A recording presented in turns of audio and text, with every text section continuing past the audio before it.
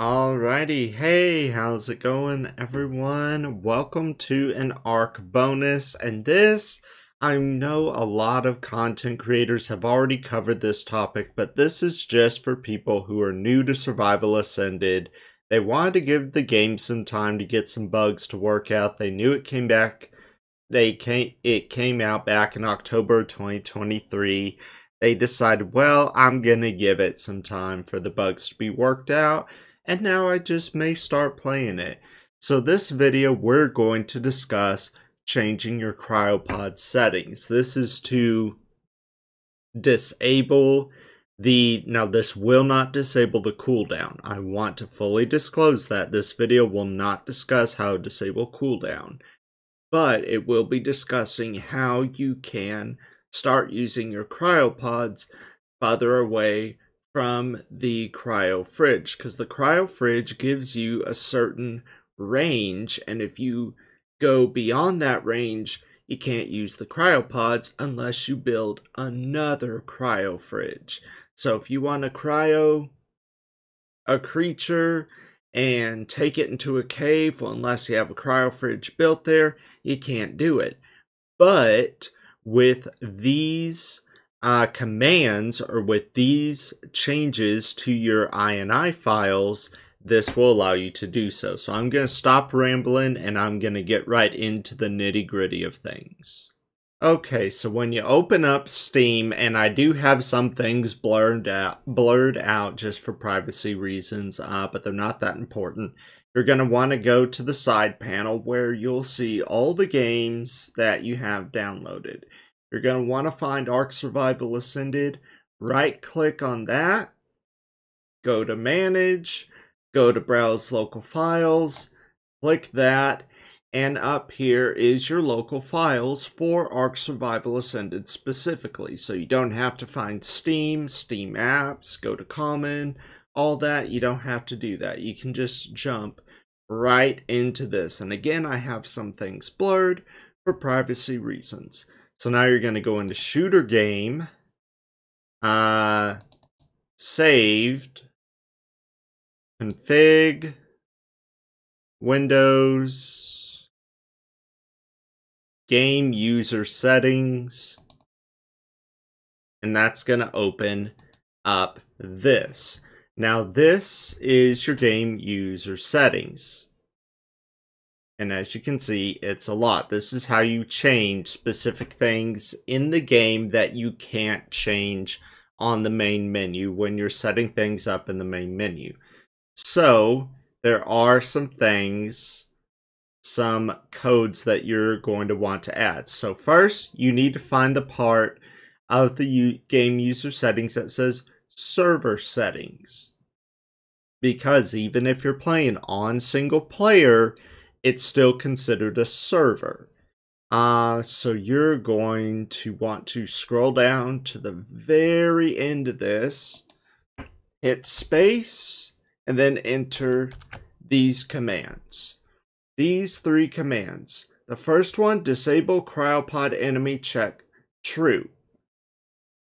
Dis or disable cryopod enemy check equals true. And I'm going to have these commands in my description box so you can copy and paste them from there. But if they do not look identical to what is typed in right here, uh, you're not going to be able to do it. It's not going to work. Character for character, number for number, sign, symbol to symbol, it has to look identical to this. Otherwise, it won't work. So if true is not capitalized, if the T in true is in lowercase, it's not going to work. It has to be capitalized. So the enemy check will allow you to use cryopods when you're close to enemies.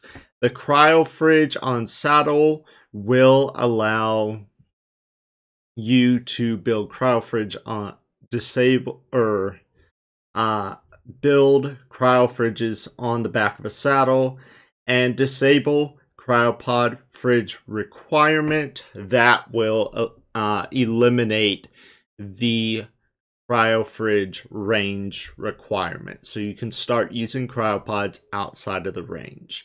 If you use So if you're going caving on scorched earth, let's say, uh, what cave is it that you really want a thylacoleo? Uh, it's the cave with the artifact and the destroyer, I believe. The entrance is in the high desert. And there's that drop to certain death that a saber tooth might be able to make, but a thylacoleo uh, guaranteed can make.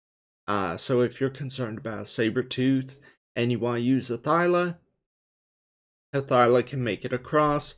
So now you can cryopod your thyla to get it in that cave because the cave entrance is kind of wonky. So a thyla won't be able to fit inside because the cave entrance, um, it it's inside a ruin, and or no, I'm thinking of the wrong cave. Uh, gatekeeper. Uh, is one where Thyla won't be able to fit in through the entrance.